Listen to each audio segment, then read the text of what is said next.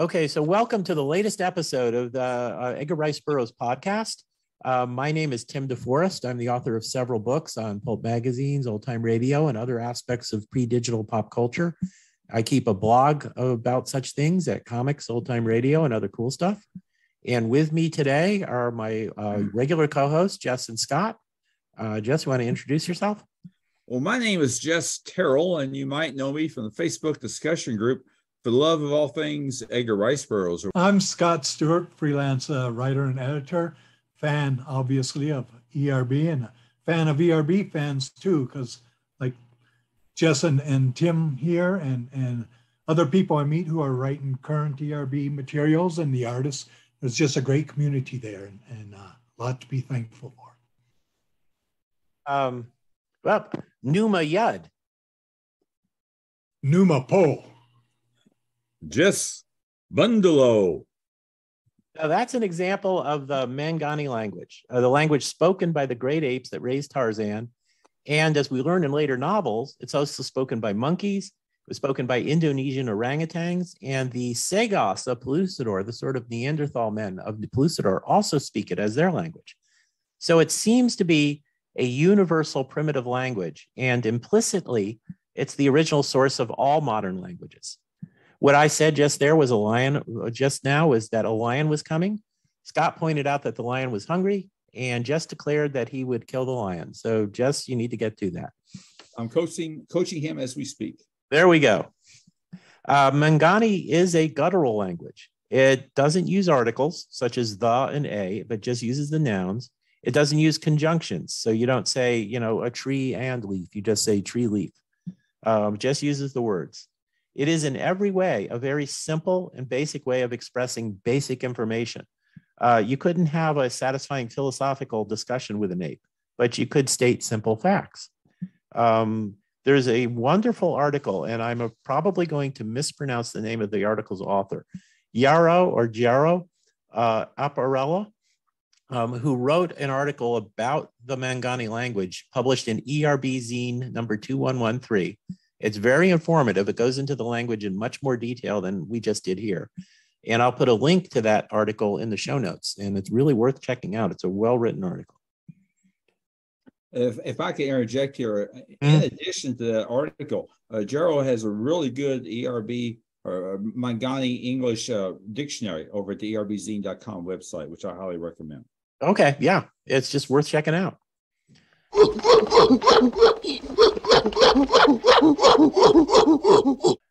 And well, I believe I hear the apes of Kerchak in the background. They're telling us that we have actually two features coming up. Uh, one is uh, um, our trivia contest, and uh, we did a trivia contest last time, and we got several entries of, I think, uh, a number of correct answers. We picked somebody randomly, and our winner was named Joseph. He won a copy of the new authorized library edition of Tarzan, uh, Tarzan at the Earth's Core. And he was kind enough when he uh, let me know that he had received it to, to detail his first experience with Burroughs. Um, and I'm quoting from his email here. I got hooked on Burroughs 60 years ago during the big Burroughs revival of the 60s. My entrance into the world was The Princess of Mars. For a long time, I avoided the Tarzan books.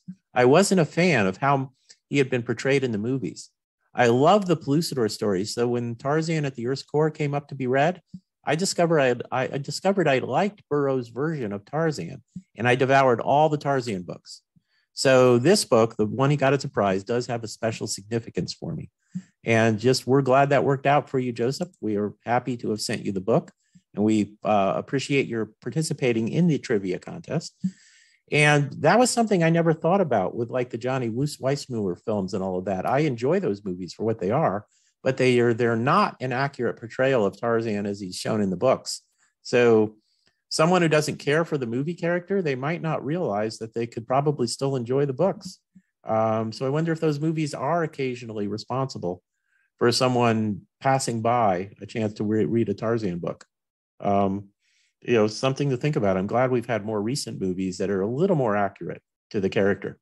And, and when you consider that Tarzan has been with us for around about 100 years, mm-hmm. well since 1912. Yeah, yeah, it's about 100 years. Mhm. Uh, then it, it makes you wonder if, if indeed that that is the case. And I think you may be onto something there. It makes you wonder how many potential Tarzan fans were turned away because they felt that the ape man was too uh, bestial. yeah, it, it's something to think about. Um, but we do have another trivia question this time, and I will be asking that question in just a moment.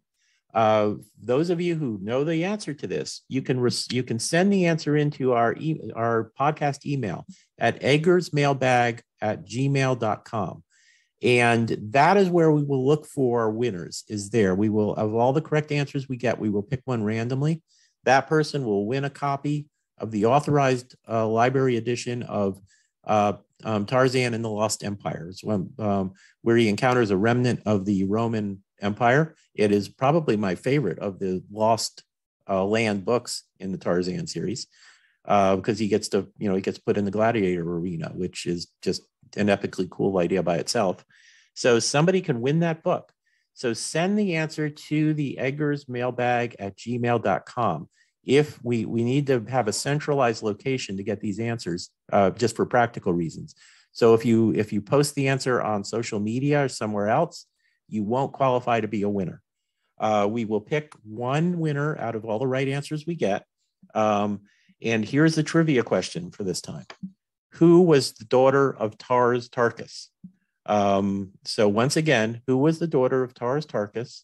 If you know the answer, send it to Edgar's mailbag at gmail.com. That email address will be in the show notes, so you'll be able to find it there. Um, and send us the, it anytime. We're recording this on September 19th, 2022, um, and it will release sometime later this week. So um, uh, we will, I will wait uh, probably two weeks. So I'm going to say October 1st. I will pick an answer from uh, from the answers, a winner from the correct answers we get. Uh, so once again, who was the daughter of Tars Tarkas? Send the answer to our email address. And that gonna that's gonna bring us to the book we're discussing today, which is Tarzan and the Ant Man, which was uh, written in 1923 and serialized in Argosy All Story magazine in February of March of 1920. February and published as a book in September of that year. It is uh, just a very interesting book. It's a great adventure story. Uh, is I read somewhere once that somebody said it felt like a Barsoom adventure. That if Tarzan, if, if Burroughs has written this as a John Carter adventure, it would have felt perfectly at home um, on on the Red Planet. It still works as a Tarzan adventure as well, um, but there is like a lot of super scientific stuff going on with Tarzan getting shrunk down to Ant Man size, and that would have fit perfectly on Mars. Um, but as it, with as with the sword, sword play. Yes, it would. Yeah, that's true too, because there's a lot of swordplay, especially towards the end of this book. Um, so this could have easily been a John Carter adventure or a um, a Carthoris adventure, or just a, you know another of the of the male heroes we meet along the way in the Barsoom adventures. But he, Burroughs choose, chose to make it a Tarzan adventure, and we won't argue with that decision because he writes a wonderfully entertaining book. Uh, thing I'm going to note is that uh, Burroughs does uh, give some political opinions in this book. Um, he is going to be openly critical of two relatively recent constitutional amendments the Income Tax Amendment from 1913 and Prohibition, which had passed in 1917. Um, and he's going to be, I think, obviously critical. He's going to use aspects of Ant Man society to criticize uh, these amendments, which I think he clearly disapproved of. He does in other books sometimes give political opinions. Uh, Pirates of Venus, the bad guys were obviously a satire of the Soviet Union, and he was criticizing communism pretty overtly. Um, the I love a, I, I am a barbarian, which uh, we talked about in our last episode. He's he takes some shots at FDR's New Deal um, by by pointing out similar aspects of Roman ancient Roman society. So he does occasionally put political opinions into a book. And here in Ant Man, he just went to town with it. Um, if we assume the book was partially inspired by Gulliver's Travels, then that kind of makes sense because Jonathan Swift used Gulliver's Travels for social satire. and political satire. And um, Burroughs is kind of doing the same thing here with Tarzan and the Ant-Man. Um, I think another thing we're going to mention about it is that this is the uh, the fourth of what could be seen as a little mini series within the series. Um, each you have four books where uh, the previous book of some plot thread of the previous book leads into the next one. Tarzan the Untamed is covers the World War One years where uh, Tarzan thinks Jane is dead. Um, that leads into Tarzan the Terrible, where he trails Jane and the Germans who have captured her to the lost land of Pal-ul-don and rescues her. Tarzan and the Golden Lion, those two, uh, Tarzan and Jane and Korak on the way back from Pal-ul-don. When they meet, they uh, um, find the Lion Club, who will grow up to be the Golden Lion, and have an adventure with him. And in this book, one of the villains from Golden Lion, Esteban Miranda, who ended the last book as a prisoner of cannibals, is going to show up once again and be an important plot thread in this one. So you have four books in a row where one leads directly into the other, at least in some way. And um, um, so you have like your little Tarzan mini series there, which um, which is kind of neat. Um, this is also the last time we'll see Korak in the original books. And there is one book, I think, Tarzan's Quest. We just, I think you said you thought it was the 19th one. Yes, number 19. That, yes, that's the la- that's the only other time we'll see Jane. Um, and it's interesting to think about because Burroughs had originally intended to kill Jane off for real in Tarzan the Untamed in order to free Tarzan up to uh, to have just more adventures. And he eventually solves that problem by just having Tarzan be uh, you know, the world's most inattentive husband who's always off in the jungle having adventures, running into new lost civilizations without any mention of Jane at all. Um, I'm making a little bit of fun there because we later see in Tarzan's quest that they still have a healthy marriage. But they apparently, uh, eventually, you know, Jane apparently realized that she's got to let Tarzan go out and wander around the jungle sometime in order to, in order to just stay happy, and she's apparently okay with that. She may so, also be attending to their businesses interests, which are probably based in London, I would imagine. Mm-hmm. Um, they get away from them once. Uh, Tarzan and um, Jewels Opar is mm-hmm. where Tarzan stated that uh, his business interest had had some trouble, and uh, never really explained the details of what happened there, except that the, he needed to go get some more um, uh, precious jewels and, and gold and stuff from uh, Opar in order to um, re- replenish the money the business had lost. Go ahead. Mm-hmm um, yeah, and I think that makes sense. You you would trust Jane to run the business intelligently because she was one smart lady, and um, you would, um, um, you know, and obviously after uh, you know they lost their fortune at least twice. It happened in Golden Lion too, didn't it? And whenever he goes off to Opar for more gold to replenish their fortune, that never goes well. You know, he'll end up with amnesia, or he'll end up a prisoner, or he'll end up with like his, his evil double fooling Jane into thinking you know he's forgotten her or whatever so i could see jane saying okay i'm going to go run the business you just stay away from law and i'll i'll keep the business profitable okay so speaking of romantic entanglements as i mm-hmm. recollect this is the last of the books that that really features tarzan as the only lead character Mm-hmm. I may not be stating that quite right, but beginning with uh, Tarzan Lord of the Jungle, book number 11, this is the Ballantine numbering system that I'm using here. Um, uh, that's uh, that the another character in that book, James Blake, takes center stage in, with his uh, adventures and his romantic entanglements, which permits Burroughs to work some romance into the story. Tarzan's there; he's definitely a force. He's still a central character, um, and and he and he does uh, leave his mark in in the uh, Tarzan Lord of the Jungle, no question about it. But James Blake gets the romance out of the deal. Go ahead. Mm.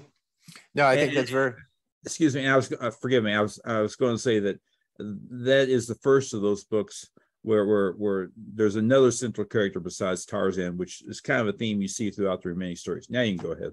Okay. And just before we dive into the chapter summary, I wanted to say one thing uh, about the political points and sat- satire that Burroughs is doing I think it is clear when he gets to Ant-Man Society that he uses aspects of it to to um, express what I think were sincere criticisms of ex, of income tax and prohibition. And I think those were, I get the impression those were his sincere beliefs that he was expressing in this story uh, through the Ant Man. Uh, I, there are aspects of the Alalu society, the society he'll meet where women are in charge instead of men, which I believe is commenting on the 19th Amendment, which had just passed a few years before in 1919, that gave women the vote. And I believe here he's satirizing not women getting the vote, but he's satirizing some of the concerns people had when they fought against the amendment and giving women the vote, which they were afraid it would destroy the family structure, the men wouldn't be in charge anymore, families would fall apart, women would just, you know, uh, stop being homemakers and all of that. There was all these like wild concerns that if you gave women the vote, society as we know it would collapse. Um, because the, the Alalu society will be with the women in charge, treating the men rather brutally. Eventually, because Tarzan teaches one of the men to use a bow and arrow, the men will take over and they're still going to treat the women uh, pretty poorly. Um, and the women are presented as thinking, oh, well, that's okay. We kind of like this.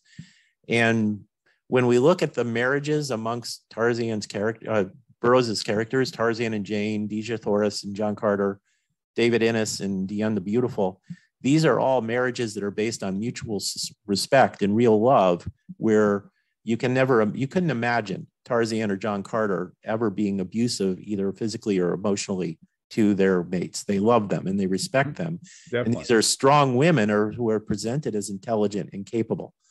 So, um, so I believe that he is. I think that he, when we look at the Alalus, he is satirizing uh, the concerns people had about you know family and society falling apart if we gave women the vote.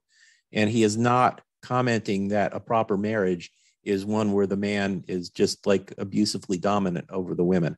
Um, he is just using exaggeration and satire in order to just tell people they were being silly when they're with, of their with their concerns I, I think I think to um, to underline that about the um, the male female relationship in this role reversal world of the Alalus, I think is what we're calling them.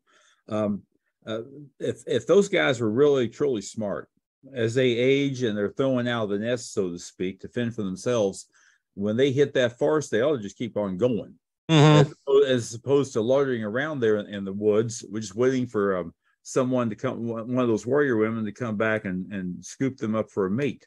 Mm-hmm. Uh, if, if they had if they had the um, the gumption to go and face the brave new world that lies beyond that forest, um, I mean, they if they had the courage and the gumption, as I say, yeah. then they would do that. But I think that illustrates that they don't. That they, yeah. they don't know what to do with themselves. They just kind of loiter around there waiting on something to happen. It finally yeah. does. They they've been completely beaten down. So Okay. So uh, if, if I think we can get into the chapter summary here, what we're going to do is summarize five chapters at a time and then comment on it. Um, no, excuse me. Um, so, and I am using, by the way, the excellent chapter summaries that you find on erblist.com. Um, we all, you know, we read the book, or in this case, I listen to the new audio version to prepare for this podcast. But we'll, um, using these chapter summaries just helps us to remember a lot of details that we might have forgotten otherwise. Um, and I appreciate these chapter summaries enormously. Uh, so to start off with chapter one of Tarzan and the Ape Men, we actually don't start with Tarzan. We start with Esteban Miranda, who was the villain, uh, Tarzan's physical double, who was one of the villains in the previous novel, Tarzan and the Golden Lion. And he ended that book as a prisoner of cannibals. And he's still there uh, he's still there as their prisoner, chained up in a hut, uh, with an argument going on between the witch doctor and the chief of the village about whether he is Tarzan or whether he is a river devil with uh, possible supernatural powers. Um, of course, he's neither, but um, that the the chief thinks he's Tarzan, and the uh, witch doctor thinks he is a, uh, a river devil to play on the fears of the witch doctor's young daughter, Uha, who is about 13 or 14 years old, um, convincing her he's really the river devil and getting her to release him. Uh, then he escapes into the jungle. He takes a bag of diamonds that he still had with him that were uh, that he had acquired in the last novel, and he takes Uha, little Uha, as a hostage. Have a good time in this novel. I really feel bad for her because I liked her She, you know, she had some gumption. She was fooled at first because of her superstitions, but later on she realizes that he's not a river devil or Tarzan. She shows some courage in what she does, and she comes to a tragic end, which I think um, is really a very sad part of this novel.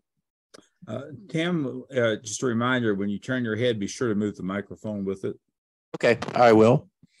Um, then we get to chapter two, uh, and that switches back to Tarzan's African bungalow, where he is with Tarzan, uh, or he is with Korak, his son, and his daughter-in-law Miriam, and they're also with Korak's little son uh, Jackie, who's a toddler at this point. Now Tarzan has an airplane there, and he wants to go up on a solo fight, flight, uh, despite just having only just learned how to fly.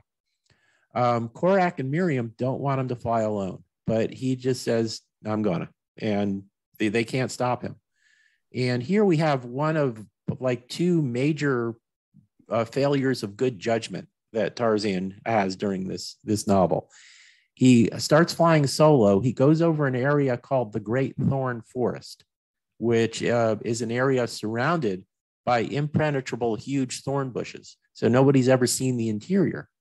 He goes down to take a look and ends up crashing into a tree and knocking himself unconscious.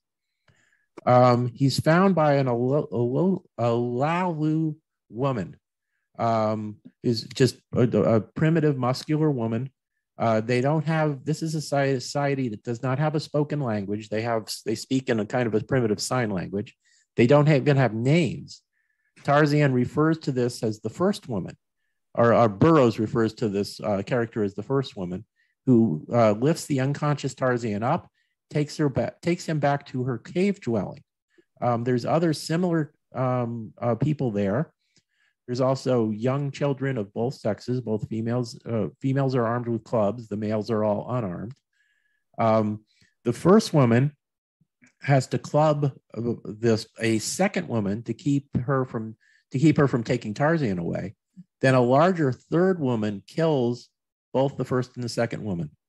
The third woman then takes uh, Tarzan captive to her cave, um, and the, the vultures outside are getting ready to, to eat on the, the, the two slain women. That brings us to chapter three. Um, some of the young in this village uh, examine the unconscious ape men and one of them, a young boy, steals Tarzan's locket. That will be an important plot point later.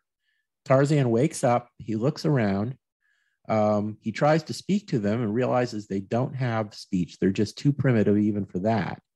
Um, they they're they're in the the younger ones are indicated they're hungry, and a female points to Tarzan and um, just indicates that they should eat him. So one of the males actually shows a little bit of courage and steps up to Tarzan's side to try and protect him. Uh, the boy who had stolen the locket ends up getting killed. Star- Tarzan has to defend himself against the um, the uh, the the young females, and he eventually, when he has a chance, he makes a break for it and getting out of the cave dwelling. Um, the young man who tried to who tried to stand by him comes with him. Tarzan moves through the trees. They get. They escape their pursuit with the boy running along um, uh, on the ground underneath Tarzan. And that chapter ends with the uh, the boy. He's glad to be away, but it's nighttime and there's terrifying sounds in the jungle all around him. Chapter four switches back to Esteban Miranda, who's wandering lost through the jungle. With him is still his Uha, who's realized that this guy is just nuts. He's not Tarzan. He's not a river devil. He's just an evil man who's currently holding her hostage. Um, then we switch to a vulture who comes down to feast on some of the dead bodies back in the land, the land of the uh, Lula, Alalu, and um, uh, he, uh, one of the vultures ends up with Tarzan's locket when they're eating the body of that boy wrapped around his neck, um, and he's unable to get it out, get it off. So he flies off with the locket. Uh, meanwhile, in the jungle, Tarzan pulls the frightened boy up to safety just before a lion gets him. Tarzan gets to work making those usual weapons. You know, he finds the raw materials he needs to make a bow and arrow and so on. He kill, kills a deer, shares the uh, shares the uh, meal with the boy. Um, and he decides to start making weapons for the boy as well and teaching him how to use it. So the, the boy before long is going to be um, pretty handy with a bow and arrow himself. And that is going to do a, do a lot to change a Alalu society. You know, he becomes, he feels less timid, becomes braver as time goes by. Uh, has it, as his skill, as the boy's hunting skill grows, he eventually goes off on his own. Um, finds um, yeah, um, and so he's he's off hunting on his own. Tarzan is is on his own, and he sees an Alalu female holding a little 18 inch tall man a hostage with other small men trying to rescue the hostage. These are small warriors uh, with spears and swords riding riding small antelope that we later learned were, are called diadets. So these are the ant men. Um, Tarzan tries to signals her to release the captive. He's learned the sign language by now. She refuses. So he kills her with an arrow and saves the life of the captive. And the captive is the prince of the local Ant-Man city. So the warriors, um, they bury their dead, they um, treat their wounded, and they bring Tarzan back to their city with him. Along the way, he does some more hunting. He kills a deer. He uses one of the rapiers of the warriors as a knife to cut off some meat and kind of grosses everybody out by eating it uncooked the way he usually does whenever he eats in front of somebody else. Uh, say now that we've met the Ant-Man, something we didn't mention earlier is that the Ant-Men all have long multisyllabic names. Tarzan uh, Burroughs actually just went to town coming up with like six or seven syllable names for almost all of the characters here. Um, we are going to each individually, Scott, Jess, and I, as we as we discuss this novel, are going to just make our own decisions on whether to try and say those say say those names uh, completely or to use some sort of diminutive. Uh, there are no diminutives for these names used in the books. Everybody always uses the complete seven or eight syllable name every time they use it. Uh, but we may need use diminutives rather than stumble over these names when we're discussing it, or we may just say things like that guy or the king rather than try the names. So, um, so, so I do have to compliment the man who did the latest audio version because he just uh, is just his tongue rolls perfectly over every one of these names. Um, however many takes he must have done to get it right, he got it right. That uh, audio uh, is from the Oasis company. Is that mm-hmm. correct? I believe it is. Yes. And I apologize that I'm not remembering the name of the, the reader right off uh, because he does a superb job. It's it is a fun audio book. So well, those are. The- excuse me. I was going to say regarding the names, I have to put in a plug here. The, the one name that I figured out how to pronounce, that I'm quite proud. I'm quite proud of because I think it just rolls off the tongue. I can't say that yet for all the other names, but um, it is the king's son Prince Komodoflorensal is what I was calling Komodoflorensal, and it is it, it I'm tr- trying to use phonetics and can't and uh, pronouncing the name, um, and uh, I cannot say that for all the other names, but the Komodoflorensal sounds good to me. So um, yeah, and I think they're all supposed to be pronounced phonetically. It's just there's so many syllables in each one. It's hard to do it without stumbling over them. The names are uh, bigger than the Ant Man, actually. They, they are actually, yeah. So, um, so um, yeah, you guys agree that Tarzan's very careless on his first solo fight. Um, I, you know, I mean, it's his own fault that he's here stuck in the Great Thorn Forest uh, without any way of getting out because you know, he was told by Korak. And, you know, just don't do this, take a co-pilot or just be really careful. And he flew low without thinking about it and brushed a tree and ended up crashing. So um, I guess we get an example there of the Tarzan isn't perfect. He, he does mess up sometimes. Well, I think too, showing that he's fallible in that way, because um, it's not like the engine has trouble in the air mm. he runs out of gas, which would be a bad thing to overlook.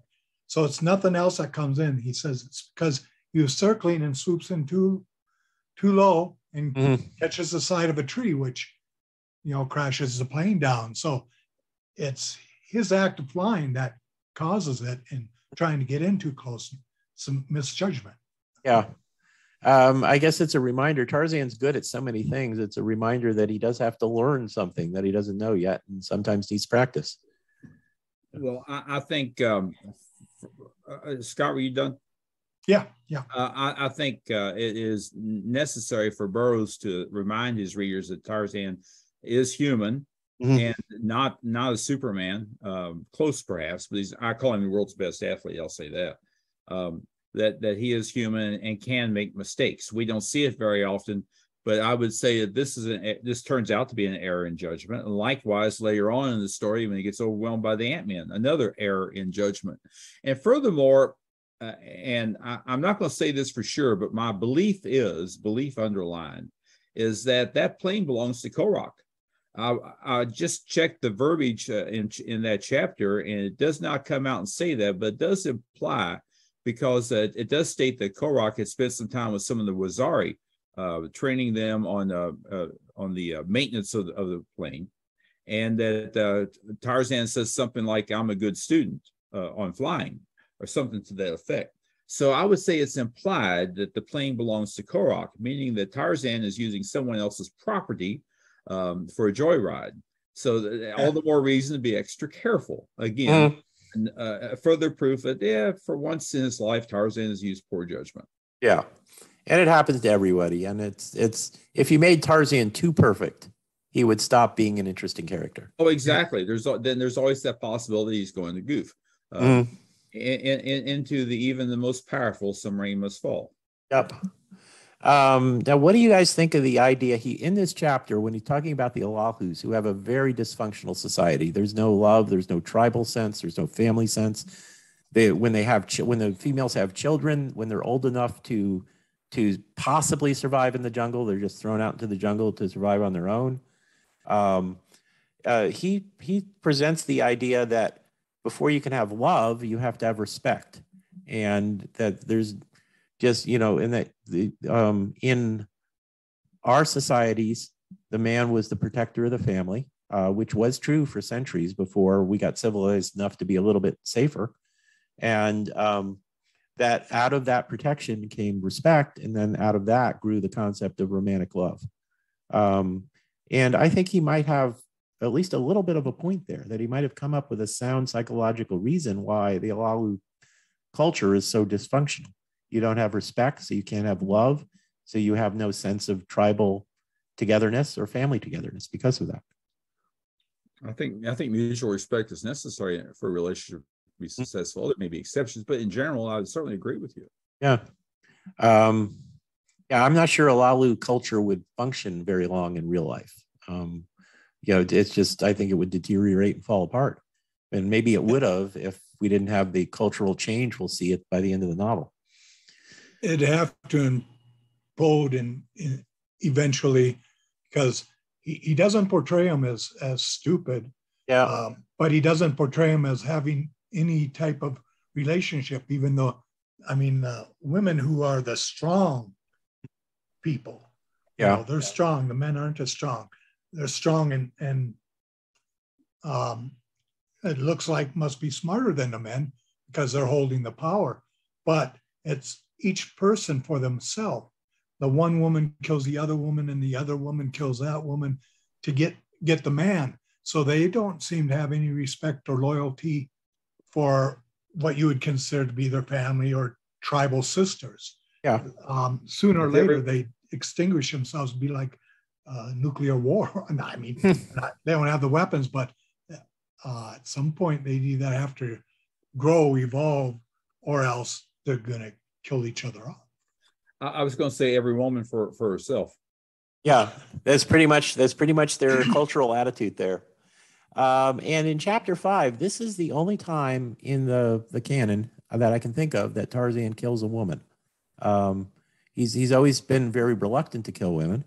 Um, and um, um, even when you had female women villains, um, or female women villains, female villains, uh, you rarely, you know, they might meet their end, but it was never at Tarzan's hands. So I think this is the only time in the 24 original books that we see him killing a woman.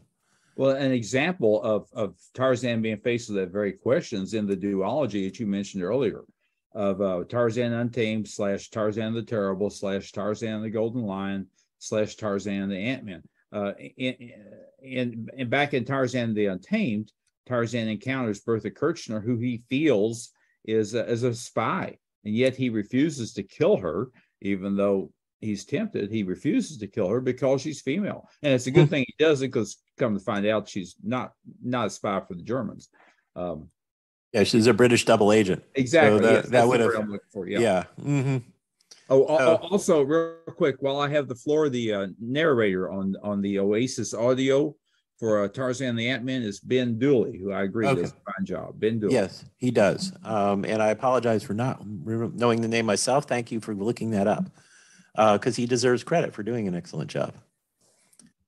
Okay, well, I also wanted to point out uh, with chapter one, as opposed to the hero usually coming in, for those who had read Golden Lion, uh, Esteban shows up and it's like, oh, I know who this guy is.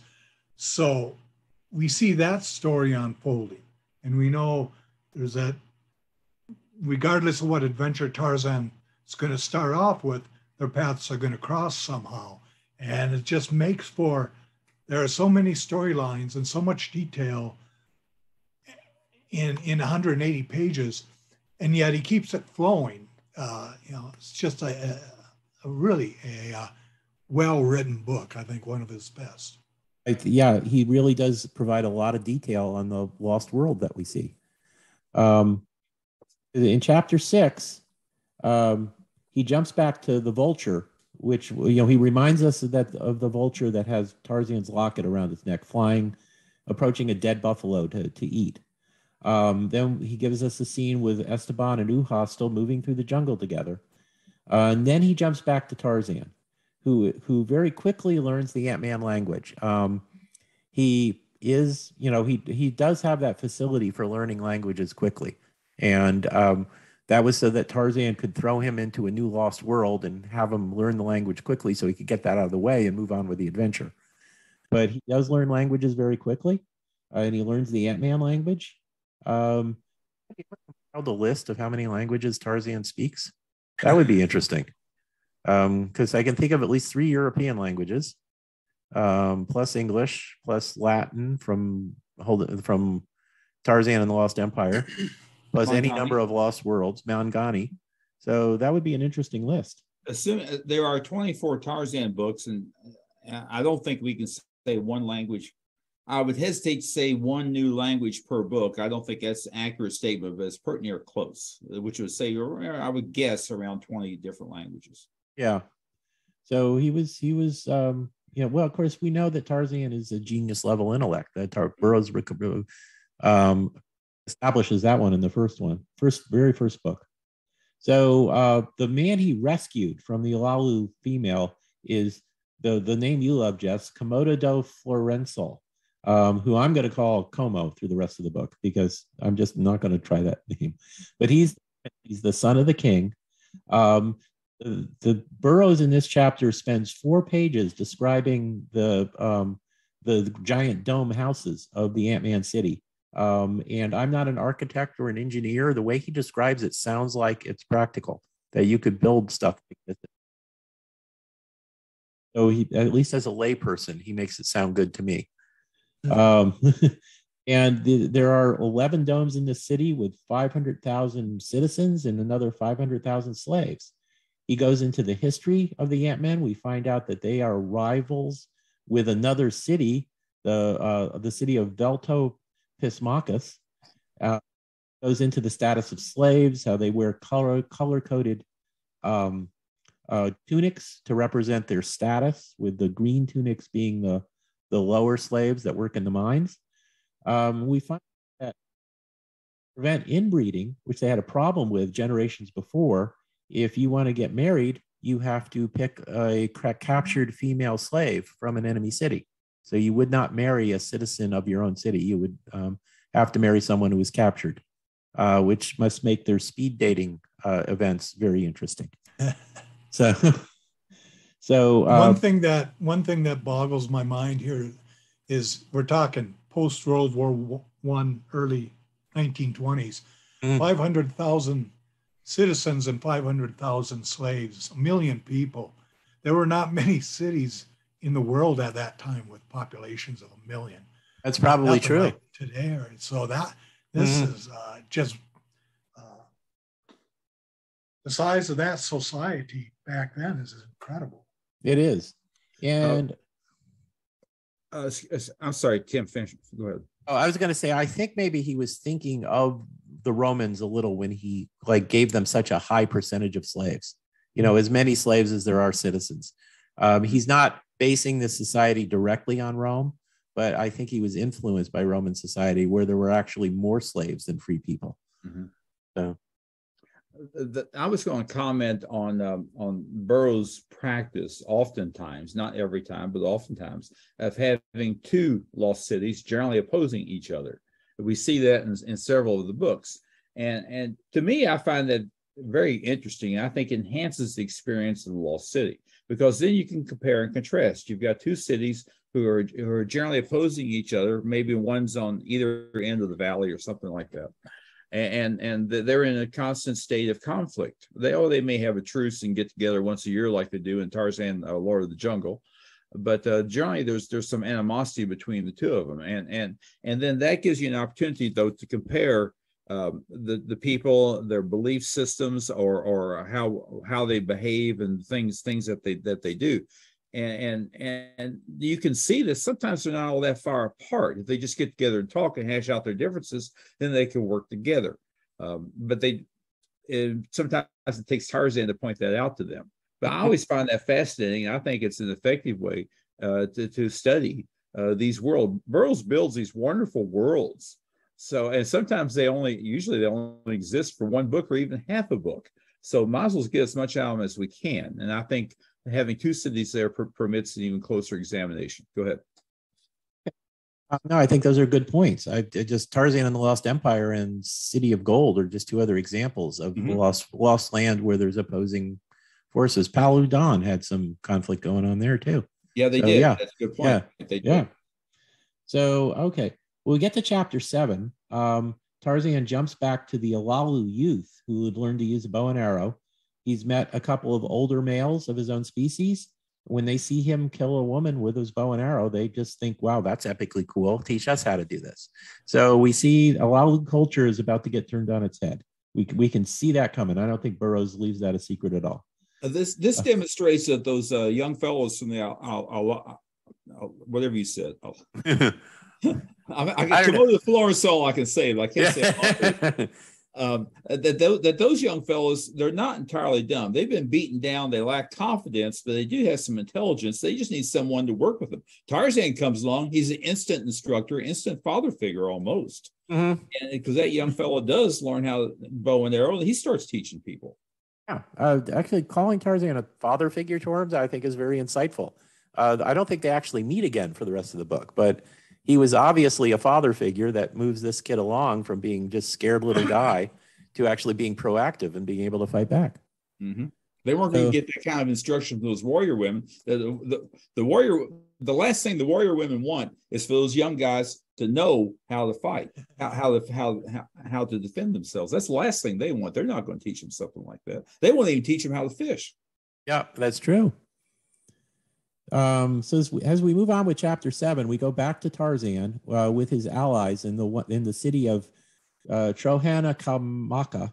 Uh, they're being attacked by their enemy city, uh, and Tarzan, because he's tall compared to the 18-inch Ant-Man, um, he sees the enemy coming and he warns them. Once again, earning more gratitude from the city. Um, and as they prepare for battle, and Tarzan goes in Burroughs goes into quite a bit about their how they deploy their forces in an intelligent way. Uh, Tarzan tears a, a, branch from a tree to use as a weapon. He's very self-confident here that um, he's not in any danger from these little guys at all. So what we're seeing here is his second, after crashing the airplane, his second serious lapse of judgment, um, especially since he's going to be warned repeatedly that he probably needs to move back or climb into a tree or something, that he is in danger. He just doesn't see that. I, I envision I envision Tarzan saying everything's under control here. I'm not mm-hmm. worried about it. I, I can yeah. take care of myself. And he mm-hmm. keeps getting warned, as you just said. And he should have got a bigger branch, is what he should have done. He uh, should have. Very least, at the very least, he should have gotten a bigger branch. Or as you suggested in the earlier discussions, he should have just climbed a tree and thrown throwing a nuts at him or, or something. Yeah. It used to work when he was a kid against um, um, Sheeta the lioness. just climb Yes, up and throw stuff at him. So so we even had experience in this. Okay, so chapter the battle's about to start, but as Burroughs often does, he at least briefly jumps away in the next chapter to another scene to keep the suspense high. In this case, it's um, that that vulture that has Tarzan's locket around his neck is feeding on the dead buffalo, but he gets the locket uh, hung around the buffalo's horn and ends up strangling. So that locket has now been flown over the thorn bushes into the jungle and is sitting uh, is wrapped around the the neck of a now dead vulture. The, the, Uh, and Burroughs teaches us lessons. Here's an example of one of the lessons Burroughs teaches us. When you're eating buffalo, be sure to remove Remove all your bling from yourself exactly. before before feasting on the buffalo. So another life lesson. Okay, so Tarzan's helping his friends in the fight against the enemy city, but um, you know he doesn't listen to the warnings. He's eventually overwhelmed. This is the scene that Joe Jusko uses to illustrate the cover of the new authorized edition. There's that brilliant, just like all those covers he's doing. You can't stop looking at them. They're just that good, and you can't. Yeah, you can't stop appreciating all the detail um, how kinetic they are, how, how how full of movement they are. Uh, they're just it's amazing artwork. But uh, Tarzan getting overwhelmed by the enemy Ant Man is what we see here, and he's eventually just sinks into unconsciousness. Uh, the chapter ends where we go back to Uha and Esteban as they're sleeping one night, or as Esteban's sleeping. Uha knocks him out and escapes into the night with the bag of diamonds. Uh, but as the chapter ends, she's being stalked by a lion, and this this is where we get a bit of tragedy because the next time we see her, she's just going to be a skeleton, does not get away. Um, and since we can't help but like her, you know, she's part of a cannibal village, but that's just where she grows up. She's she's got spunk, she's smart. Uh, we were rooting for her, and she's going to meet with a tragic end here. Um, I'm kind of glad that happened off screen. You know, um, she's being stalked by the lion, and then later on, her skeleton's found. So, because that would have been a pretty horrific scene to have her actually getting, to describe her actually getting killed by the lion. Casey But- Burroughs gives us a dose of reality. He does. He, he does know. He does know that it's a good idea to occasionally throw in some tragedy. Mhm. Um, and here we have a case of it. So, chapter nine Tarzan wakes up a prisoner of the enemy Ant Man in a very large chamber lit by very two, two large candles. He's for quite a while, he's astounded at how all the Ant Man became enlarged to his size and how this huge city can exist. Um, it takes him forever to realize that he's been shrunk down, that they haven't gotten bigger. Um, and I don't want to be critical of him. It's such a bizarre situation. Um, we might not tumble to that either right away. But I think because when we're reading it, we realize right away, as readers looking at it from the outside, we realize he's been shrunk. Um, it just gives the impression sometimes that Tarzan's a little slow on the uptake here. I don't think that's a fair evaluation, but it takes him several chapters to finally realize he's been shrunk down. Well, could he, and this would be according to how Burroughs describes the process, could could he be a little groggy from whatever from the after effects of whatever process went through him to shrink him down? Could be. And also, I think he takes a few days to heal from his wounds. So that's another fair point to make that he's not at his best at this point. Mhm. Um, and it is a bizarre situation. If we were in it, in that situation ourselves, rather than from the outside reading the prose, uh, we'd probably be equally slow on realizing what was happening because you, you know, from your perspective, everybody just looks normal. You're not going to think, aha, I'm in a, um, a city of midgets and I've been shrunk down. That's not where your brain would normally go. Everybody grew up over. Everybody grew up overnight. Yeah, that's right. so, so but but but then this is oh can we say that this is the third reminder in this book the third reminder that we've counted this far that tarzan is indeed human and Yeah. mistakes Yeah, I, I think maybe we can. Um, he's given a green tunic, which is the lowest caste of slave, um, and he's taken to the king. And what Tarzan does here is he refuses, he doesn't talk, and he doesn't give any indication that he can understand their language. He does because it's the same language as in the other city. But um, he lets them think that he must be related to the Alalu somehow and that he's mute, that he doesn't have a, a spoken language. Uh, he meets Princess Janzara as well as the king, who, uh, you know, she's going to have an epiphany later now, right now, but right now she is a spoiled brat. Um, she gets mad at Tarzan for licking her in the eyes. and wants to buy him just so that she has the right to kill him afterwards. So uh, we don't have a good impression of Janzara right now. Uh, but um, um, we also hear Tarzan doesn't hear this conversation, but the chief uh, scientist of the city, Gogoloso, whispers to the king that he's reduced Tarzan in size. And he thinks that he, he's done this before with other creatures and they've always snapped back to their natural size. He thinks this time it'll last 39 moons, 39 months. Um, and Tarzan actually does spend some weeks that size before he grows back. But it's it's fortunately for him not 39 moons. It would have been interesting if he got back to his bungalow, still 18 inches high, and met, met Jane and Korak there. That would have been a, a hilarious scene. But he'll be back to normal by then. That'd be pretty tough to explain. But the other thing that these, the other thing these ant people need to keep in mind, they need to run a keep a clock running on him because if this guesstimate, I do say guesstimate, is mm-hmm. when he's going to return his normal size, is anywhere near correct. They do not want him in one of their buildings when he starts expanding again. If he That's destroys true. the building when he when he gets back to his normal height, just just Yeah. by, uh, getting bigger again. Simply getting bigger will destroy the entire building. They don't want to lose those buildings if they're smart. Right. And also, those buildings had tens of thousands of people in them. So it wouldn't have been good for them either. That, that's a lot of ant people to lose. That's for sure. Oh, and the and then the other thing I want to point out point out about about Janzara there, as as you you know, she's got a relatively short name compared to all the other ant people, and I I would submit this because we will see more of her, and uh, Burroughs perhaps did not want to do so much typing in, in describing what she was. so you made her name short. Mm. That's speculation on my part. That's not documented. yes, that's true. Uh, a note on the buildings you're talking about too, because uh, another great thing about the ERB notes here, they do a comparison because uh, Burroughs made the, domes in the buildings and 880 feet in diameter and 440 feet high.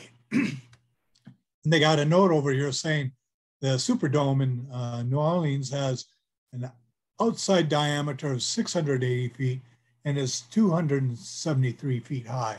So this is much bigger than the Superdome. And normal sized people like us, I, I don't remember the number, but it holds a tremendous amount of people.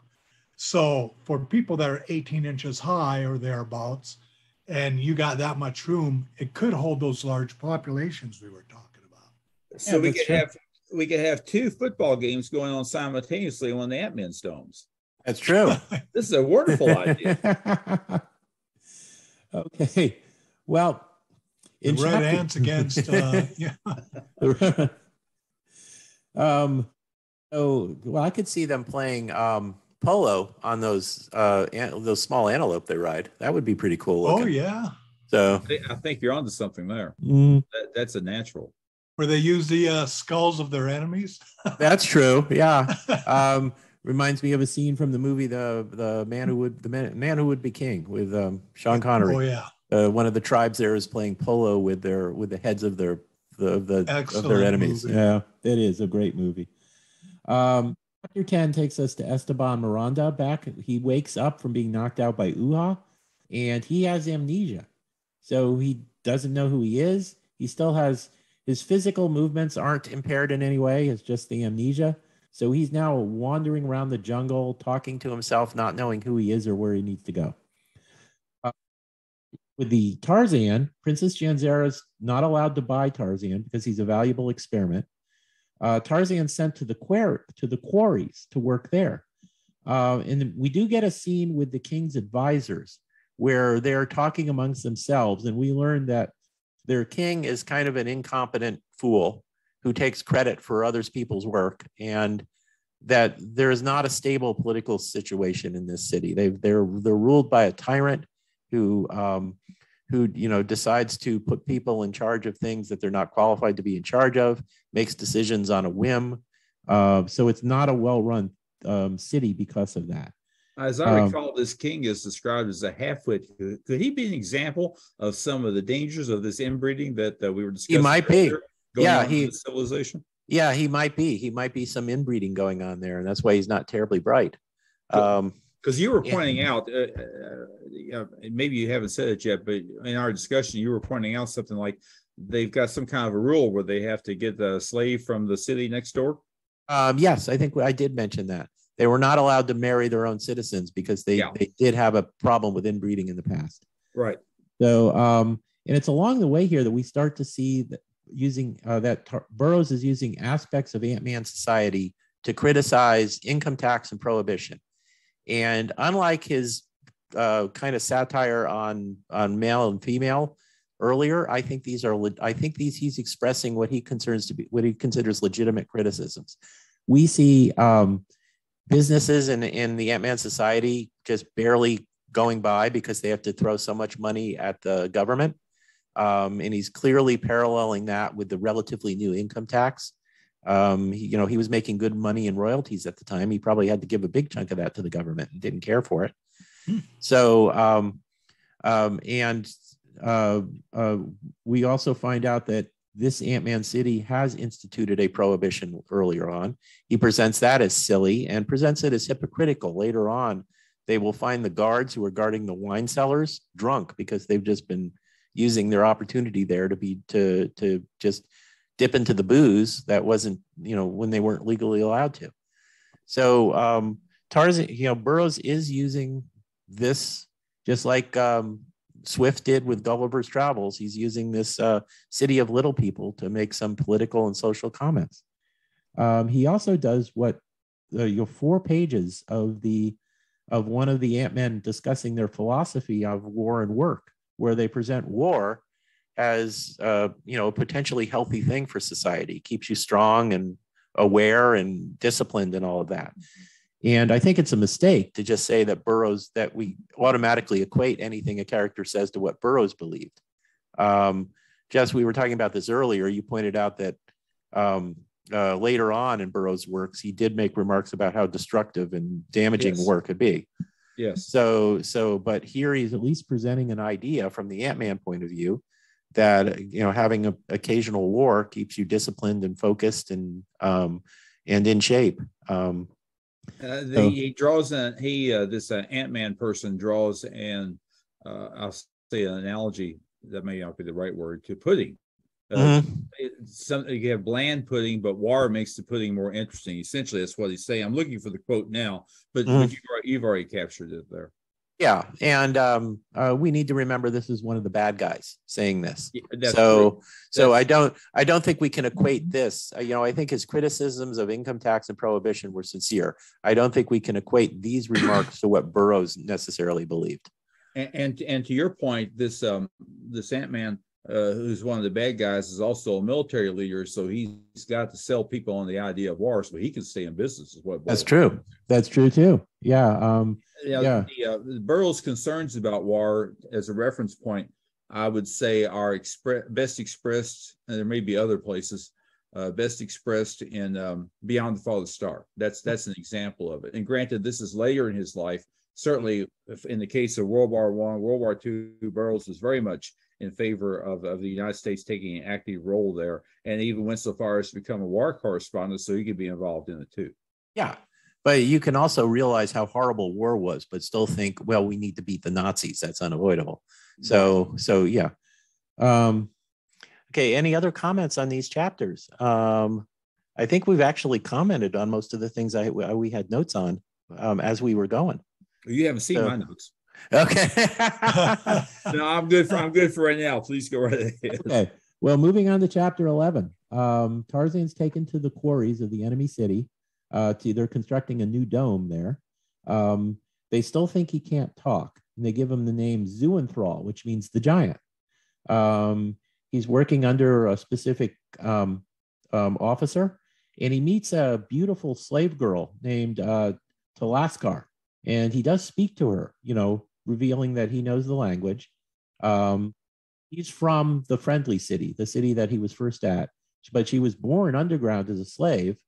Um, and her mother didn't report her existence or report her birth, so nobody knows about her existence. She just kind of hangs out there, but she's never been outside. She's never been out of the out of the mines. Uh, and slave, another slave makes advances on her, unwanted advances. Tarzan uh, intervenes, and this other slave charges him. There's about to be a fight But that's the end of the chapter. And so we switch to another scene as usual. He's ending the chapter in a cliffhanger, but making us wait a while before he resolves that cliffhanger. Um, he goes back to the Alalu, where um, the the that young one young man uh, has now got ten other men armed. Um, they drive away one of the women. A group of angry women go out looking for them to teach them a lesson. Uh, so there's a battle coming up. But then we switch back to Tarzan, who's punching out that that slave who had who had made um, advances on um, uh, Talaskar. Um, he really does. He gives us much easier female names, Janzara and Talaskar. You can say those names without stumbling over them. Um, the officer in charge uh, tells, you know, tells Tarzan he's going to receive a hundred lashes. Um, you know, Talaskar intervenes but you know now this officer wants to buy her. Um, and Tarzan also discovers that Komodoflorensal, uh, who I'm just going to call Como, the prince of the other city, is also said, a prisoner. You said it so well. I did. um, he's using a secret identity. Nobody knows he's the prince. Um, he's the other man that Talaskar cooks for. Um, and this is where Tarzan finally learns he's been shrunk down. Como tells him this. Um, so, so he finally gets it. The process is done by um, a local scientist who can make men smaller, but not larger. He has to just hope that the that it eventually um, uh, wears off on its own. Um, he also explains it's kind of interesting the little details that Burroughs thinks of and explains. The candles here consume carbon dioxide and release oxygen, which is why they can have these huge candles underground without it eating up all the oxygen, which is kind of another nice little um, a touch. So, chapter 13, Tarzan tells Como, I'll try it, Komodo do Florensal. That, that when they make, uh, you know, when they try to escape, they have to take Talaskar with with with them. You know, he's befriended Talaskar, and he's not going to um, leave a friend behind. That's just a typically Tarzan thing to do. Um, Tarzan come up with kind of a little con job where uh, Como can pretends he can talk to Tarzan in a, another language. They just talk gibberish to each other, and then Como comes up with whatever translation he he wants in order to try and fool them. Um, we find out the king wants to see Tarzan. Um, when we get to chapter 14, we have back to the Alalu. 50 women are setting out to, to punish the, the disobedient males, but they're driven back uh, by the bows and arrows. They can't stand against the superior weaponry. And a few are captured and kept to cook for the men. So the tables are turned on these women completely. It's totally upended their society. Um, meanwhile, you know, Tarzan has been brought before the king he gets to, he he's taken to the lab where they have the um, the scientists' equipment for um, for uh, reducing things. Um, and Tarzan is listening. They remember they think he's mute, can't understand. He actually memorizes the settings of the machine, hoping he can somehow reverse the process himself. And it's kind of interesting. The the uh, ERB list summary points out that that's a plot thread that's never never followed up on. He never does get a chance to use this equipment. It makes sense that he would memorize those settings just in case. But in the end, he just escapes without getting re-enlarged, and it just wears off on the effect just wears off on its own. Well, now it is possible. It is possible that there was something in the pulp version of the story which was not retained when the uh, book version of the story was released. Oftentimes, those those stories went through editing. Uh, Burroughs generally would do the editing himself, some fine tuning, and it's possible that something might have been removed there by by Burroughs himself, which might have been where where this was employed. I'm speculating when I say that. Um, I have not researched that.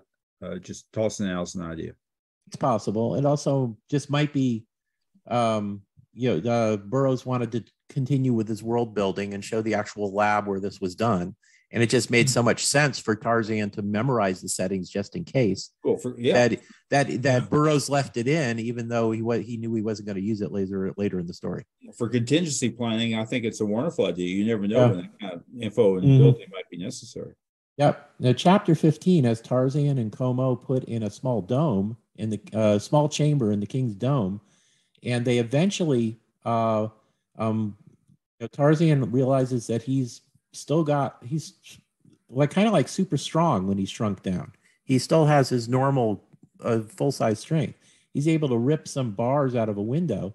They use that to form hooks, and they climb down a central shaft uh, um, to another room. And they enter a room with the chapter ending. Uh, they come into a room where they find a whole lot of men lying in what appears to be pools of blood. And that brings us to the end of chapter 15. Um, any comments from you guys on this? Tarzan was the original Atom. He was, yes. wasn't he? Yeah. retain yeah. retain the power and strength uh, in a small size like that. That's true. That is so good. Atom Ant. Yeah. yeah.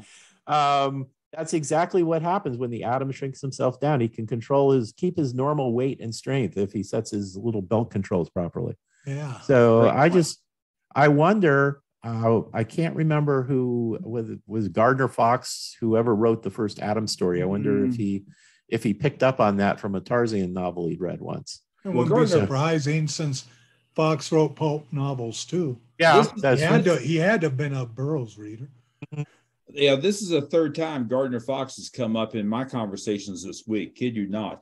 And I'm I grew up reading a lot of those DC comics. I'm an old mm-hmm. DC comics fan, as I've often stated and Gardner Fox is certainly one of my favorites. And I don't recall offhand if he was involved, Atom, but he might have been. Be that as it may, to, to uh, he might have been Scott. To your point, Tim, um, that that could, I think that could could be a real possibility. That uh, that whole notion came came from the Burroughs stories. There's a lot of things came from the Burroughs stories that wound up in, yeah. in other words. Yeah, and if we're remembering incorrectly, that was Gardner Fox who wrote the first Atom story. You know, somebody listening is going to know that. They can send us an email and let us know we were wrong.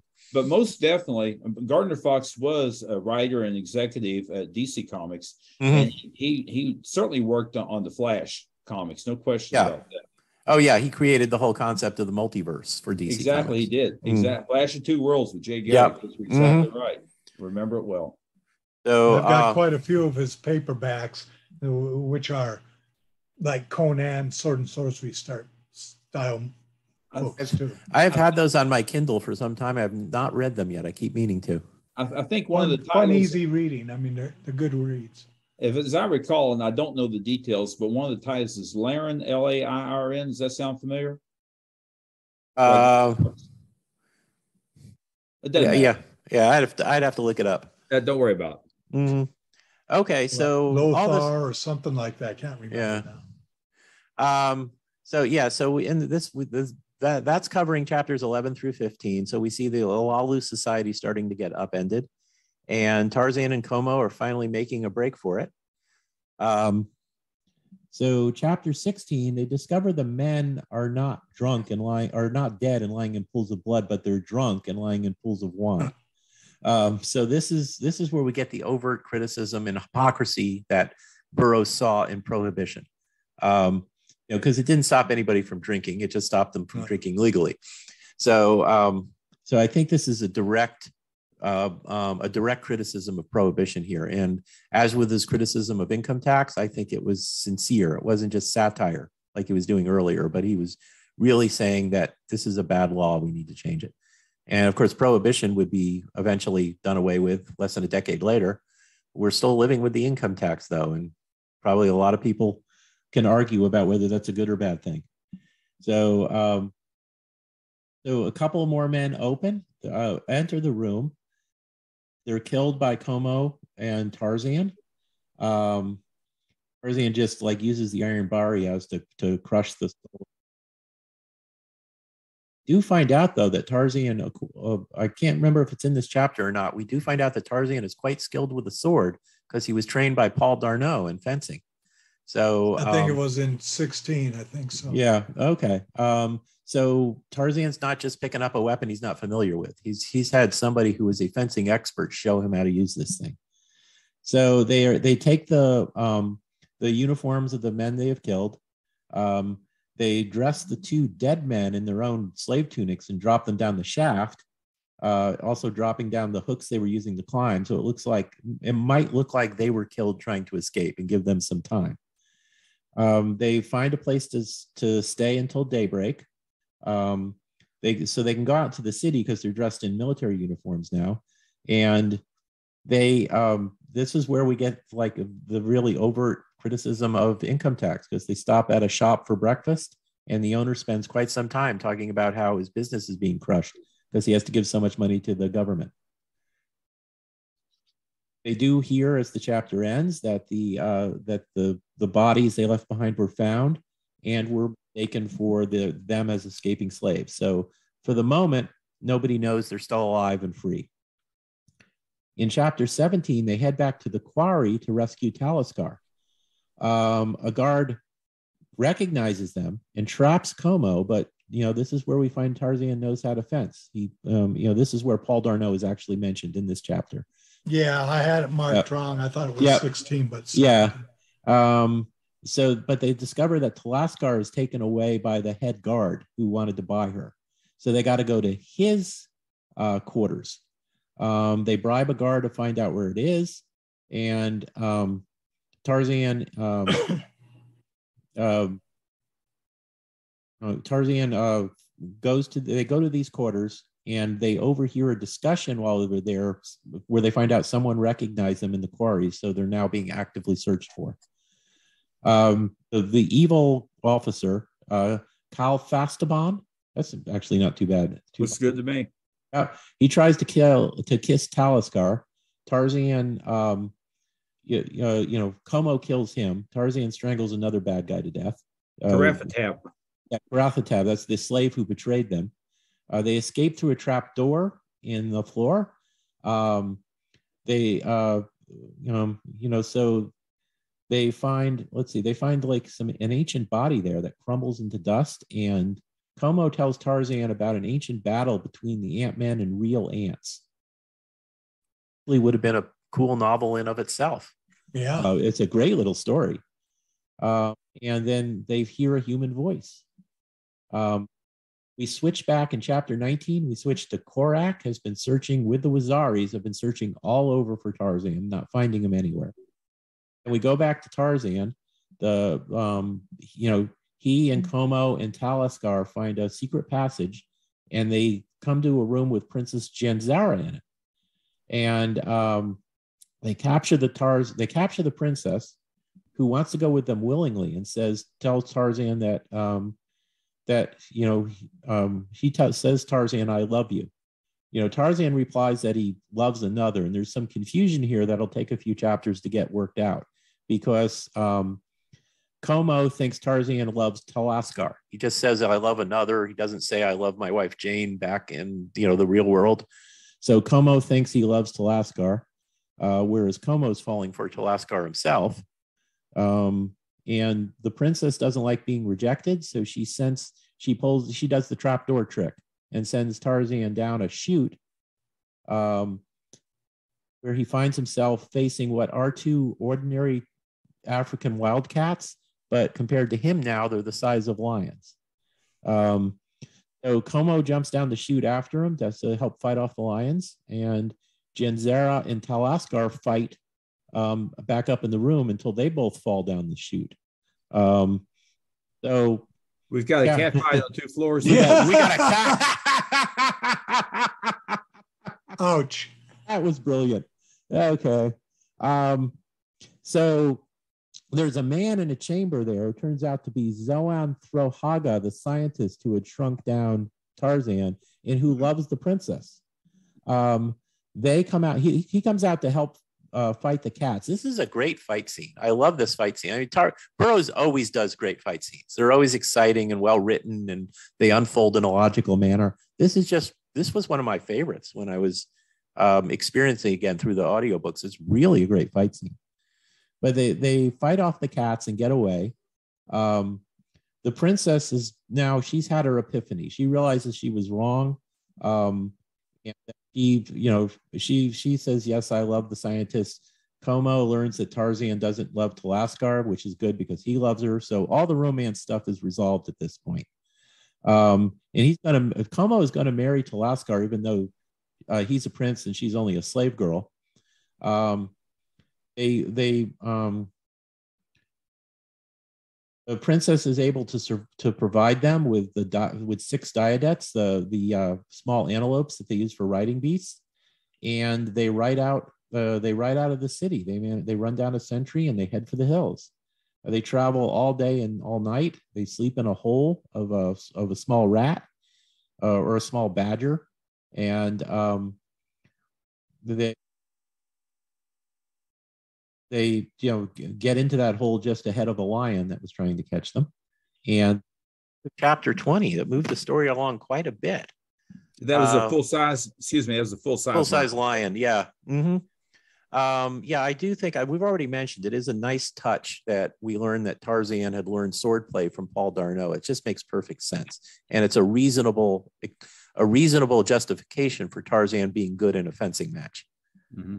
Yeah, um, I spent so much time with him, and, and Arnett was a uh, officer, and yeah, he would know that stuff. He would, yeah. That would have just been his culture at the time. Would have been learning how to sword fight. Um, and this whole sequence, I've already mentioned how much I love the the fight scene with the cats, but their whole escape sequence is really very exciting. Um, it's just it's just well a long action sequence at this point, and it's really well done.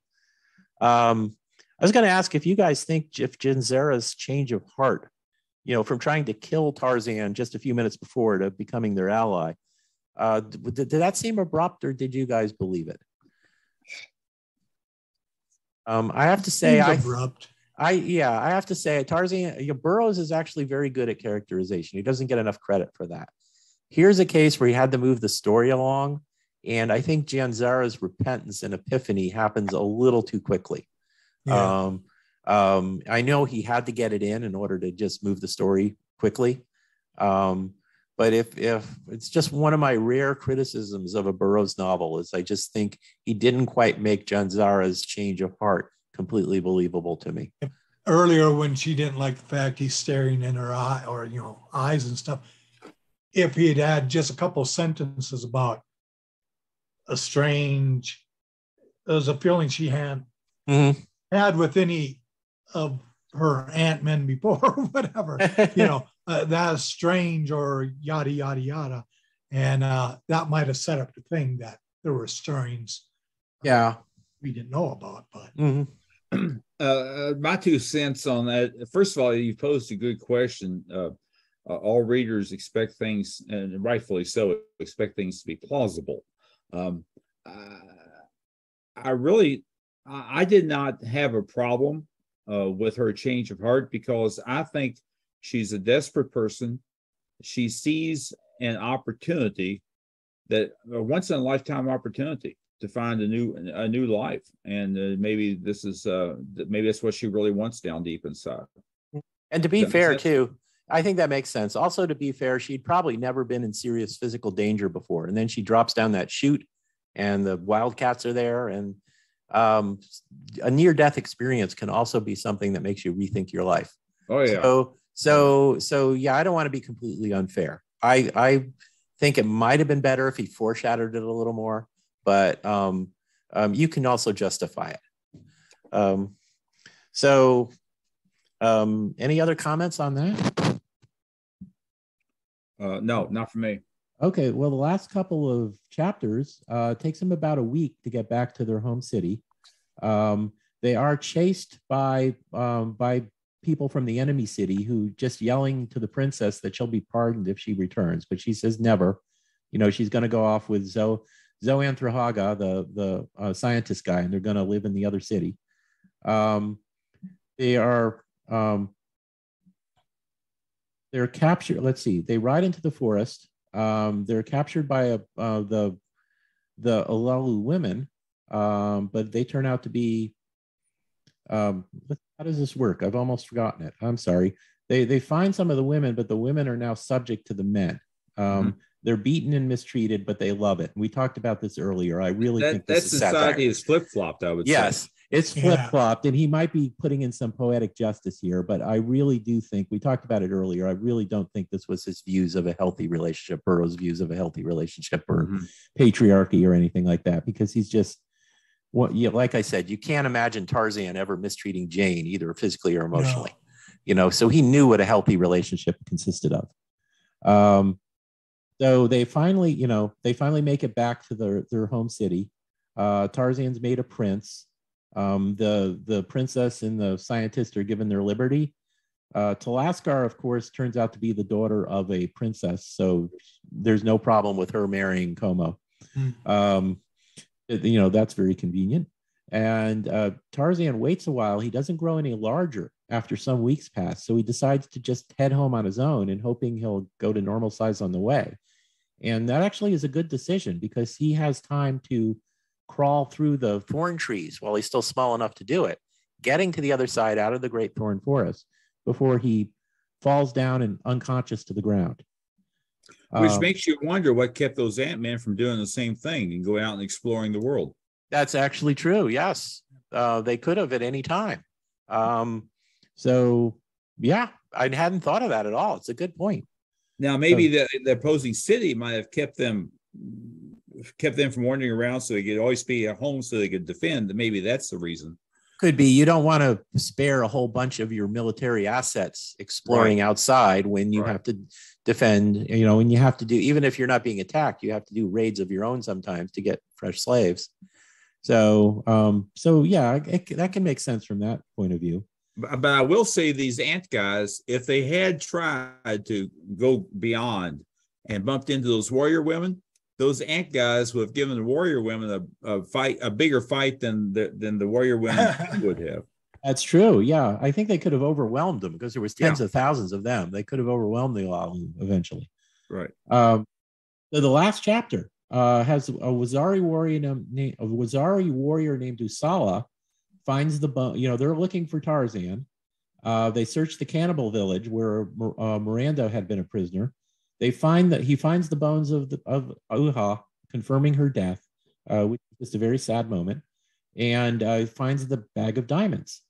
Um, later, they find Esteban uh, eating a buffalo, and he's found that locket. You know, so he's he he looks like Tarzan, and he's wearing the locket. So Usula thinks he is Tarzan, and that he's somehow gone insane. So he brings him home to the Greystoke bungalow, the dogs won't go near him. Neither will Jad, Jad-bal-ja, the golden lion, which should have been a clue.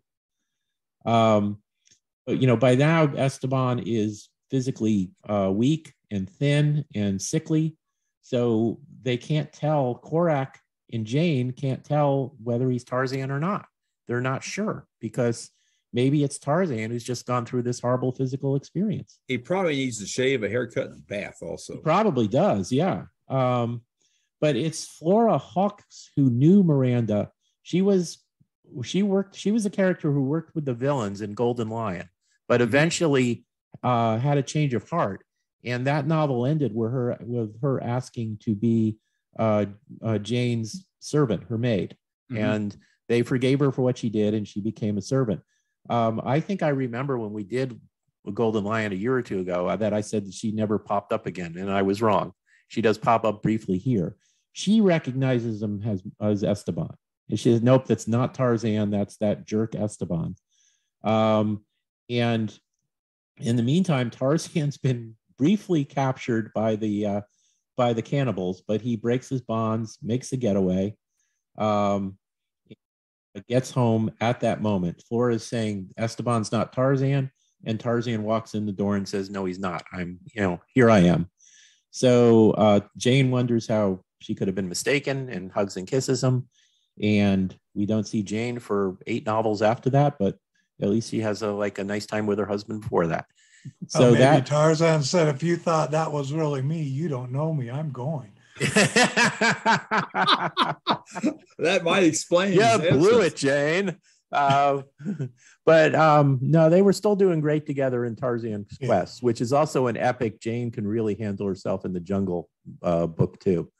So um, we haven't, excuse me, we haven't talked about Tarzan's Quest, have we?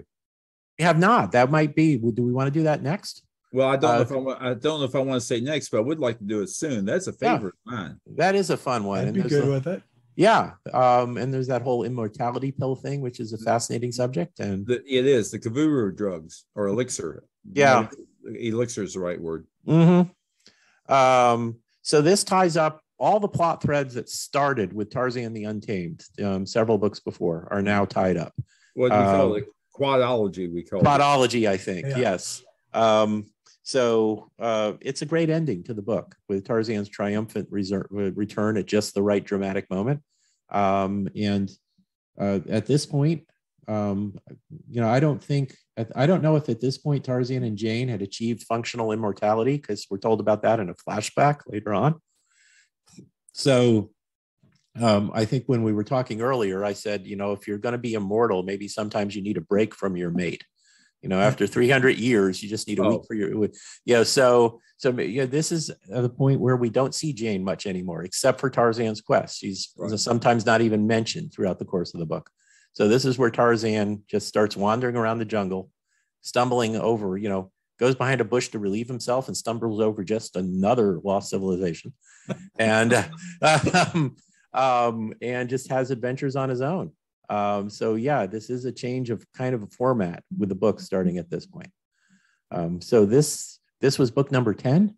Um, yes, yeah, book man. number 10. So so you can divide the jar, you can kind of divide the Tarzan saga up between the first 10 books and then just random individual adventures um, from book 11 through 24. Mm-hmm. Um, and they're all fun, excellent books. I, I, mentioned earlier that Tarzan and the Lost Empire is one of my favorites. Um, but um, there is a different feel to the later ones where he just where Burroughs just set Jane aside as a character and concentrated on on um, Tarzan and Jess, as you mentioned, you always had that co-hero almost all the time who could have the romance.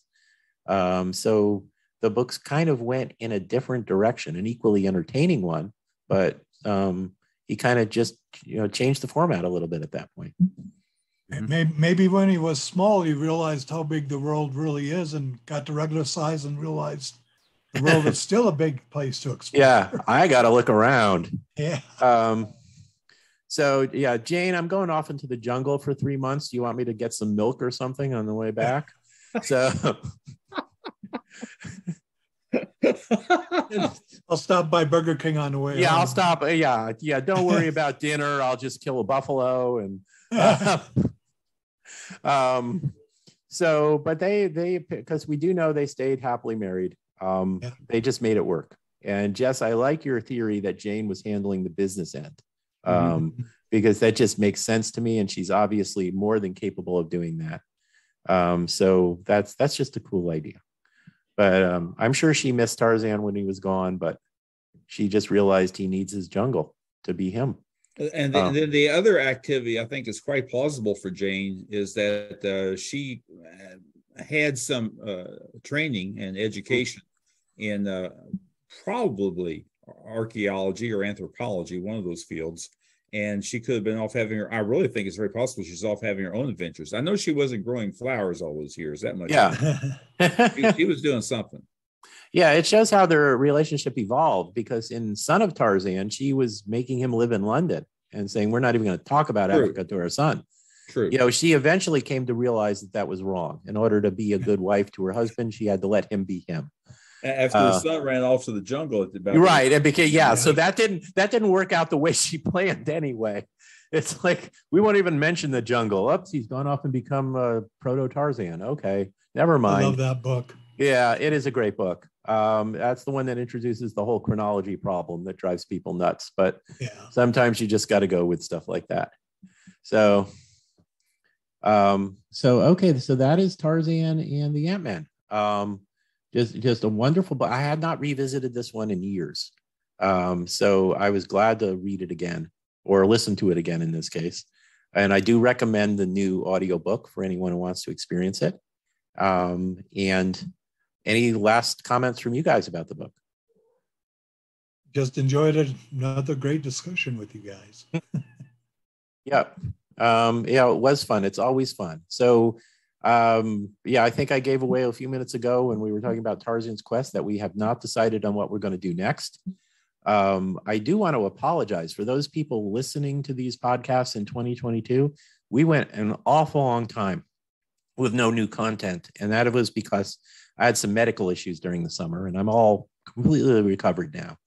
But um, we we we didn't do any new full length episodes for some months, and I didn't even do the little mini episodes I like to do to keep content coming in between our full length ones. And that was the fault of my gallbladder. So blame it on on on a on an organ that betrayed me. So all um, of it all. The, yes, the gall of it all, the gall of my gallbladder. So, but we should be more regular now. Um, we, I will be, start doing mini podcasts again. I was thinking of covering Treasure Island, which I know was in Burroughs's library, so may have been an influence on him. But as part of just talking about other adventure books that were that were out um, concurrent with Burroughs or that may have been an influence on him. Uh, so I'm thinking of doing um, um, uh, Treasure Island next. So keep an ear out for that. Um, if you're listening this in the far future, you know whether or not I've accomplished that goal. Um, and that's it for now. Um, well, now, uh, excuse me, hold on there. I mm-hmm. said I said earlier you had not seen my notes. I still have a couple points to cover here. Hey, I'm sorry, Jess. I was jumping too soon. Uh, okay. I, I, didn't want to interrupt it. You were both on a roll. I didn't want to interrupt he's, He's going to ante it up. Okay. So I'll, I'll run through these fairly quick. If you want to explore them further, that, that's up to you all. Mm-hmm. But uh, at least I want to get them on the table so we can say that, well, that was brought up in our discussion in case anybody asks. Mm-hmm. Um, needless to say that uh, Jonathan Swift's Gulliver's Travels was uh, some influence on Burroughs' development of this. And I, th- I, think it's, and I'm assuming when I say this, but, but it's not unusual that uh, you see something another writer does, you say, gee whiz, how would my character handle a situation like that? So I, I, think it's I'm speculating when I say this, but I think it's very pl- possible that Tarzan or Burroughs might have said, "What would Tarzan do?" Uh, one of my favorite questions: How would Tarzan handle this? Um, and, and, and, hence uh, Tarzan and the Ant Men. I, I, do want to point out that, um, and this came up uh, earlier off camera, I think. Um, uh, Burroughs Ant Man were about 18 inches tall. Gulliver's uh, small warriors are about six inches tall. So there is a difference there. But the Gulliver's people do revel in displays of authority and performances of power. And considering their size, that may be a necessary precaution. So, but my point is, they had a warlike attitude to things. Hence, um, the Ant Man that we saw here in the Burroughs story also has a has a warlike attitude, I would say, and it, it, maybe it's necessary. Well, but two opposing cities, as we stated, that that uh, that might be hard to avoid. Um, another thing I wanted to put a plug in here for in the Russ Manning Tarzan Sunday strips, comic strips, which are available at erbzine.com, and that feature in my discussion group for love of all things Edgar Rice Burroughs periodically. I'm running them right now. Uh, there's a Tarzan does have occasion to return to visit the Ant Man, and this time he brings back a friend with him, Joyper, who stands about 18 inches tall. He's an Ant Man. He comes with Tarzan and and and shares some of those adventures that Tarzan has in the in the Russ Manning uh, comic strips, uh, Sunday mm-hmm. comic strips. And I would say uh, Joyper is a is a perfect example of what we see out of these Ant-Man warriors. He's a talented, skilled swordsman. He is fearless. He charges ahead with his sword point at the ready. He doesn't care how big his opponent is. He's going to go do some damage. Joyper is a lovable character that um, is is to, to, be admired as uh, I would say a, a, great warrior and and a, a good um, a good sidekick for Tarzan. Go ahead. He also has a two syllable name, which I suspect was so that Manning or whoever did the lettering of Manning strip didn't have to write um, six or seven syllables every time they mentioned his name. Probably won't fit. Point made. Point mm-hmm. made. Um, oh, oh uh, Tarzan the Ant Men is mentioned in To Kill a Mockingbird. Uh, Scout, the young lady who's uh, one of the key characters in that Harper Lee story, uh, mentions just one sentence mentions that she was reading Tarzan the Ant Men. So I want to be sure and, pl- and plug that favorite yeah, story. And and Scout was based on Harper Lee, the author of the story. Yes. So I suspect that Harper Lee probably read that one and remembered it fondly when she wrote the book um, decades later. Sounds plausible to and, me. And um, oh, I can't remember his name now. Uh, a guy who becomes a summer friend of her and her brother Jem. Uh, Dill. He's based on yeah. Dill. Dill. Yeah. He was. He was Truman he's based Capote. on Truman Capote, who was her real life friend when they were kids. Ah, the same thing. Good point. Good point. Um, Gold Key Comics uh, years ago um, uh, did an adaptation of Tarzan and the Ant-Men issues number 174, 175 for those who want to get another take on this on this story. It's Gold Key Comics issues 174, 175 from their Tarzan series. Uh, we talked about Tarzan underestimating his opponents and and and not you know, exercising some poor judgment here. And that's all the comments that I have. So that okay. wasn't bad, was it? Yeah. Now I need to I need to see if I can find and read the Gold Key adaptation. I would suspect they probably leave out some of the subplots in that and concentrate just on oh. the Ant Man story in order to fit it into two issues. Uh, it uh, uh, condensed, no question about mm-hmm. it. That's available at erbzine.com. And I will have to look at that. I can get yeah. you the link if you need to find it. Oh, I can find it. I yeah, I I know how to go. So I appreciate that. Um, because I I imagine they minimize the Alalu and probably some of the political satire and just tell the straight adventure story. Yeah. Um, right. I don't recall. Uh, it's it's condensed, no question about it. Yeah. Exactly how they did it. Mm-hmm. Um, yeah, they um, well, Gold Key did excellent stuff. Um, yes. Their their adaptation, I think it was Doug Wildey doing the artwork with their adaptation of Tarzan at the Earth's core, which I believe was three issues. Yes, it was. Um, That's exactly the only one. It's quite excellent. Yeah, and it was very faithful. Uh, going that extra issue meant they didn't have to condense very much, right. and just just a wonderful read in its own right. Um, exactly. Um, so so I'm looking forward to looking up and reading the Ant Man one. So I appreciate you pointing that out. Um, so, any other comments? No, that, I'm done. I'm done. Okay. okay. Uh, well, this has been a great discussion. Um, and as I was mentioning, I don't think we haven't decided what we'll be doing next yet. So we'll announce that soon. And I'll be doing those mini podcasts, hopefully, in the meantime, uh, providing I don't have another organ fail, and I don't expect that to happen. Um, so uh, we will talk to you all again soon. Once again, my name is Tim DeForest. Uh, please visit my blog at Comics, Old Time Radio, and other cool stuff. Feel free to click on the links there to find my books on Amazon and buy them. Um, you guys want to plug anything before we go?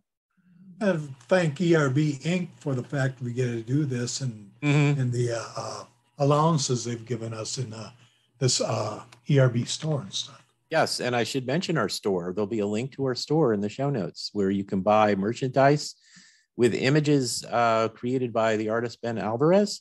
Um, and uh, we haven't, frankly, we haven't had very many people visit the store yet. I think we're the only ones who have bought materials there. So please look at our store. We've got some great stuff there. Um, Everyone needs a Gryf coffee cup. I tell yes. you, your life yeah. is not complete unless you have a Gryf coffee cup because mm-hmm. there's a Gryf out there that loves you. Yeah, and, and, and, you need to show show that Gryf some love and get your a Gryf yes. cup, and we are the only outlet for that. Yep, or a Woola short shot glass. You know, so there's all sorts of opportunities for these images on all sorts of different merchandise. So please visit our store. Where, whereabouts uh, can that store be found, Tim? What's the uh, it is it is cafe press slash erb podcast.com. It will be in the show notes so people can just click on it there. Um, so um, uh, Jess, do you want to plug anything specific before we go? Take home a Gryf today. uh, well, once again, ladies and gentlemen, uh, boys and girls, this has been my total pleasure. I always enjoy talking with uh, with Tim and Scott, and we have such a great time here. And I will plug my Facebook discussion group, Love of All Things Edgar Rice Burroughs, where we talk ERB, Tarzan, Ant Man, and and all of Burroughs' works pertinent 24 7. For love of all things Edgar Rice Burroughs on Facebook. Okay, right. thank you. And we appreciate everybody listening, and we will back, hopefully be back with more content soon.